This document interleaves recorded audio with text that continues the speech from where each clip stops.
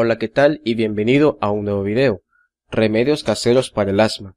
El asma es una enfermedad que dificulta la respiración al estrechar los bronquios. Esto se debe a una reacción exagerada del sistema inmunológico ante un agente alergénico. Debido a esto se presenta con más frecuencia en personas alérgicas. El asma debe tener vigilancia médica estricta. Sin embargo, podemos utilizar remedios naturales los cuales te harán sentir mejor en poco tiempo. Remedio número 1. El jengibre. Es de los mejores remedios naturales para las personas que sufren problemas respiratorios. Contiene propiedades antiinflamatorias y expectorantes, las cuales actúan en los bronquios expandiéndolos y haciendo más fácil la respiración. Hierve una taza de agua, agrega una cucharada de jengibre rallado, deja reposar por unos minutos. Puedes endulzar con miel de abeja si lo deseas. Toma una taza de té de jengibre al día, mejorará los síntomas del asma. Remedio número 2. La cúrcuma. Al igual que el jengibre, la cúrcuma contiene propiedades antiinflamatorias y expectorantes. Es buena para el asma. Calienta una taza de agua y agrégale una cucharada de cúrcuma. También si lo deseas en lugar del agua, puedes agregarle leche.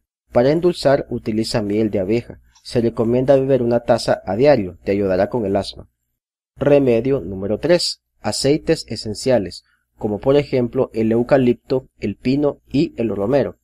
También puede ayudarnos a combatir el asma. Frota en el pecho un poco de aceite esencial, realizando masajes suaves en la zona. También puedes preparar vapores para inhalar. Calienta medio litro de agua y agrégale unas gotas de aceite de eucalipto. Tápate la cabeza con una toalla y respira los vapores. Te ayudarán a respirar mejor. Recomendaciones finales. Estos remedios son alternativas para combatir los síntomas del asma. Pero si tienes crisis asmáticas recurrentes, es mejor que visites a tu médico inmediatamente. Si sales, no olvides evitar los ambientes muy contaminados. Siempre lleva contigo tu inhalador en caso de emergencias. Limpia tu habitación constantemente. Todos los días el polvo llega a los lugares donde nosotros nos encontramos. Debemos hacer limpiezas constantes.